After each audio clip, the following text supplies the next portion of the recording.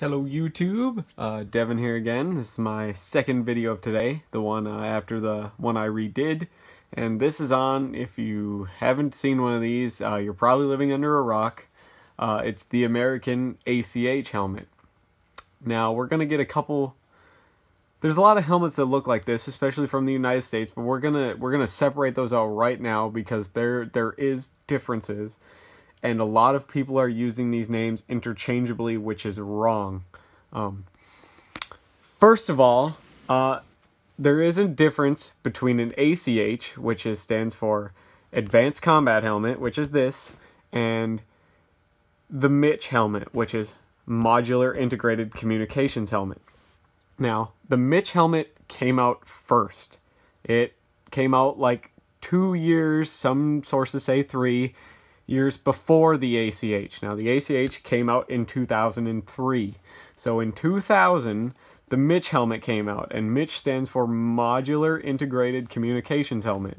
And it's roughly the same shape as this. Um, the easiest way to tell the difference between an ACH and a MICH is the ACH's rear bolts. Uh, so the bolt is right above my thumbnail here, all right? The MICH bolts are higher up, all right? So the ACH bolts are all about an inch from the bottom of the shell here, about an inch, okay? The MICH bolts are higher up. They're going to be inch and a half, two inches up, depending on what size you get. Okay, that's really the, the easiest difference. Other than that, they cover pretty much the same shape and they offer the same protection, which is 3A. All of these helmets are 3A. And um, uh, sometimes uh, earlier versions of the MICH, the ears are flared out way more uh, to accommodate uh, comms periods. Uh, comms of that time, uh, around 2000 comms were a lot bulkier than they are now. So uh, the earpieces uh, tend to be, the ear flares tend to be out more to accommodate such as that. So those are the two easiest ways to tell a MICH from an ACH. All right.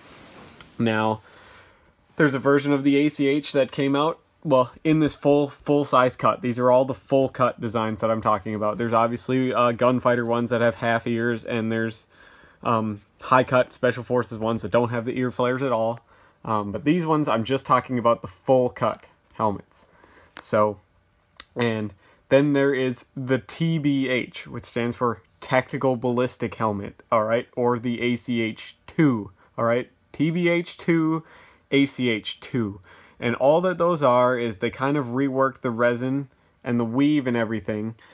So it's about each size weighs about a, uh, sorry, not each size, a size large uh, TBH2 or ACH2 will weigh about a pound less than a regular ACH. Um, that's really the only difference between the TBH2 and the regular ACH. All the mounting points are the same. Um, they're about the same thickness a uh, little bit thinner probably, but other than that, they're the same as the ACH. So now there is another contender for this helmet, and that is the ECH, which is replacing the ACH. Yes, a lot of you probably haven't heard about this, uh, but the ACH is being replaced uh, by an ECH, and the ECH is a different ballistic fiber, and it's a lot of um, high density thermoplastic resin uh, the helmet shell is made out of rather than layers of Kevlar. So now, now that we got that out of the way, we can actually get into the video of the ACH. Now we're going to quickly cover some of the features of the ACH because you can find these pretty much anywhere. I'm going to talk about the history of the ACH. So, but before we do that, we're going to talk about the features of, this, of the ACH. Now the ACH here it has its cover on it and underneath it I did something that a lot of people don't do is I have a thousand denier cover underneath it just to protect the helmet shell. Um, the paint tends to chip off these which actually is very bad. It ruins the IR capabilities of this helmet. So now all the ACHs are going to have mounting points okay. There's a difference between the Army and uh, the Marine Corps used ones. The Marine Corps used uh, ACHs for the uh, MARSOC for a long time, all right? And the Navy and the Marine Corps ones will have the three-hole mounts, all right?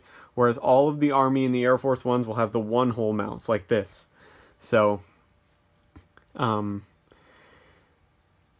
that's about it for as far as the night vision variances goes. I could get into the tons of different mounts and stuff the Army used, but most of them are like the Norotos Rhino mounts. So uh, there's a lot of different light attachments. Pretty much everybody across every branch that had an ACH that got issued a light got a Surefire or a Streamlight. Uh, Navy and the Marine Corps went more towards the Streamlights, where uh, the Army and the Air Force went more towards Surefire.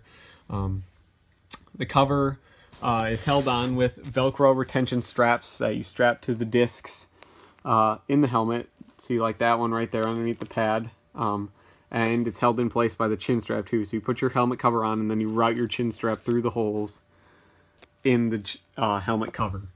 Now, this is a late style uh, ACH with the X-Nape chin strap. This helmet is made by Gentex.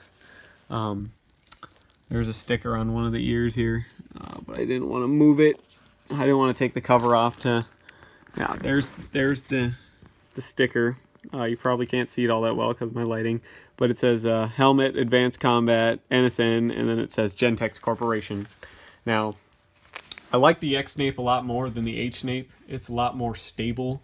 Uh, this one, though, uh, the Army standardized on uh, Frontline Combat has the X-Nape, uh, not the X-Nape. I mean the H-Nape because you in 2007 they came out with this big Kevlar pad that you would would attach to this part of the H-Nape, and it would protect your lower skull and the top of your spine from shrapnel and blast. So, but I like this uh, the X-Nape more, it's a lot more comfortable. So, um, other than that, you can pretty much find hundreds of different chin straps and stuff for these, but the standard is the H-Nape. Um, this is a later one though, uh, kind of a commercial sale one.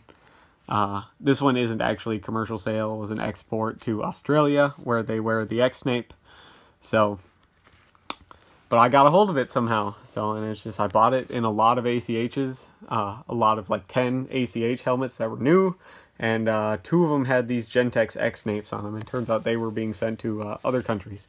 So it's an actual military helmet, but made in the United States, but it was going to a different country. And now, the pads in these helmets are all held in with these discs. Uh, Velcro, they're glued in um, to the shell. Uh, you can peel them off if you really wanted to, but then um, they're there to hold in the uh, cover and the seven pad Zorbium Action Foam uh, or Zap pads as uh, made by Team Wendy and they're uh, dual layer foam. It's kind of a harder layer in the back, so underneath, and then a softer layer on the top.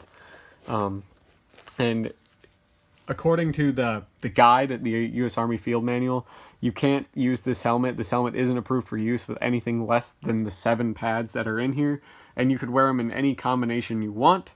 Uh, as long as all seven pads are in the helmet shell, you're you're allowed to wear it. And I normally have the front two horizontal and the back two vertical, so I still have a channel to let air through. Now, I don't like these ACH pads. Um, they get way, way, way too hot and stinky and sweaty in the summer, and in the winter, uh, they get way too hard and they fall off these Velcro discs, and they're just really uncomfortable. They transfer too much shock into your head, I think, um, and they don't breathe very well. So I, I like the suspension more. I like a good suspension system more than, than the pad system. Uh, that's just my personal opinion. You guys are entitled to whatever opinion you want. I also like the suspension over the pads because these have to be replaced every six months regardless if you wear the helmet or not. People tend to forget that. Every six months you have to get new pads, and new pads aren't cheap. So, um, other than that, standard specs about the shell is uh, it's 3A rated, which they means it'll stop a 9mm FMJ, uh, small shrapnel, everything like that. It's a pretty good design as far as shape goes. Um, it was, uh, now we're going to get into uh, the history of this, this helmet here. So I'll just leave it at a nice nice angle like that so you guys can look at it while I'm I'm explaining to you. I'll probably rotate a little bit so you can see every angle of the helmet while I'm explaining the history before it. Alright. So this helmet came out in 2003. It was first fielded in 2003 to replace the PASGT helmet in Army stocks.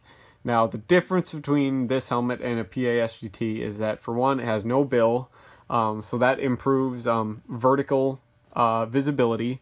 Uh, it doesn't really uh, hinder uh, having the bill doesn't really make your face uh, at any more of a risk of injury really because this helmet still sticks out far enough.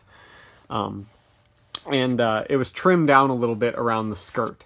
Other than that it's pretty much the same shape as a PASGT so um, there's a lot of companies that make these as well.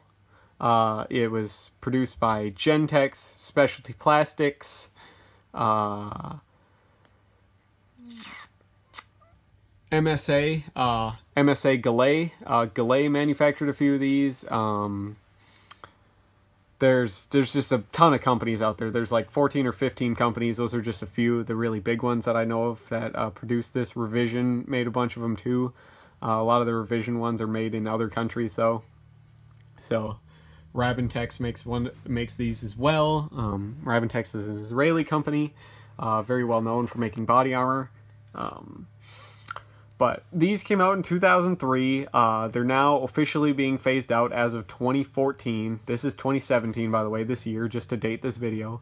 Uh, 2014, they started being replaced by the ECH, and I actually have one of those, but I'm not sure if it's legal to do a video on yet. I'm still doing some research on it. Um, so please uh, leave a comment if that's something you'd want to see, because if I get enough support, I'll just do it anyways. So, um, I attained, by the way, if this is like any federal people watching this video, I attained that ECH perfectly legally. Uh, I actually know a guy that uh, works here in Minnesota. Uh, that's where I live. Uh, for 3M, uh, he's a lead engineer.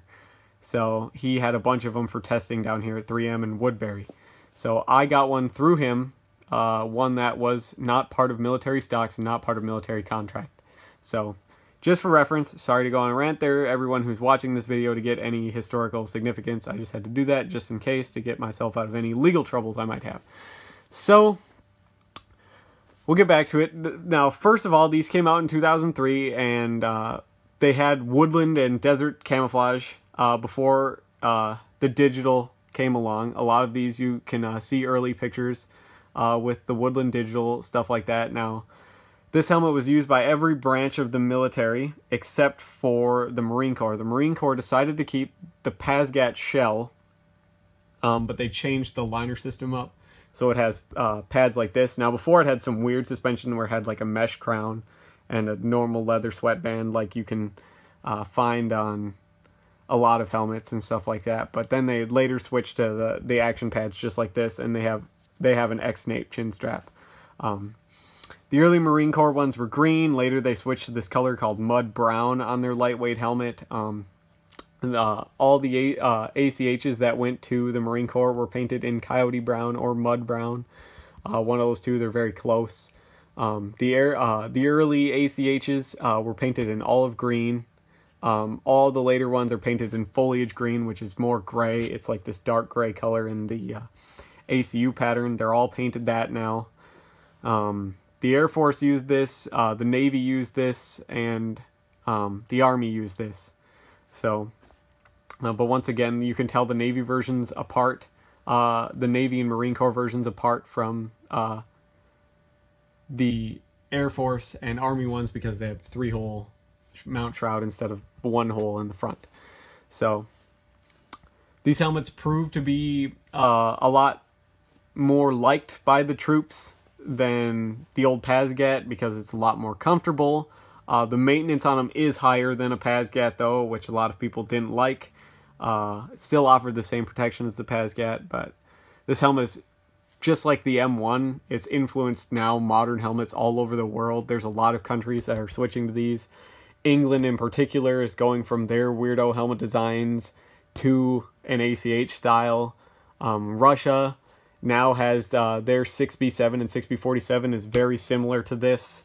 Um, so America's kind of pulled another magical rabbit out of their hat as far as helmets go, uh, and uh, started uh, influencing uh, other countries again all over. It'll probably be just like with the M1 all over Europe, where countries are, you know, when they had a whole bunch of M1 clones come out after World War II and stuff like that. I would most of the world right right now uses a PASGT clone. I would not be surprised if the most of the world in 10 years has an ACH clone. helmet. So at least. Um, so this uh, helmet here in particular is a brand new uh, ACH size large. Um, it's it's a good helmet overall. I'd say it's it's probably the gold standard as far as helmets go, and I've used it as a comparison in a lot of my videos. So this this is pretty much the standard. So it's hard to really think of a more a better Kevlar helmet out there than this because it's you know out there. They're around. They're cheap. You can find them for a hundred dollars, uh, usually in pretty good condition. If you want one brand new, you can pay upwards of two hundred. Um, they're infinitely customizable to anyone's options. Uh, they work very well in most climate conditions. I would tend to stray away from this if you live in like a desert or if you live in a place where you get lots and lots of winter, like I do. Um, I would tend to stray away from this design. But if you live in like uh, mid United States, this is probably the best best helmet you could go out there if you're looking for one. So um, that's really all that I have to say about this helmet as far as general overviews go. Uh, this will probably be a subject for uh, something I'm working on, which is um, my what I would like to call insert helmet name the movie, uh, where it's going to be like a half hour to one hour video of every technical aspect, every type of design, every company that manufactured the helmet, all of those for a certain number of helmets um, that I have in my collection, where you can, where I take it all the way from where it was an idea, all the way to where it's being replaced now. So uh, if that's something you would be interested in seeing, and please uh, leave a comment about that too. Now, um, uh, I encourage you guys on this video uh, to please help me out by um, putting down any information you have on the ACH. Um, I don't want you to just state blah blah blah 3A and everything like that. I did all that in this video. The, the information I'm really looking for is I'm looking for somebody to make a list of every manufacturer of the ACH. If you could do that for somebody's reference, that would be great. Um, I'm going to try to put one together as well. Uh, but if I put one in the comments um, and you happen to have one that isn't on that list from a company that isn't on that list, uh, message me first and I'll do some homework on it. And um, if I give it the green light, go ahead and throw it in there. I'll revise the list if you want.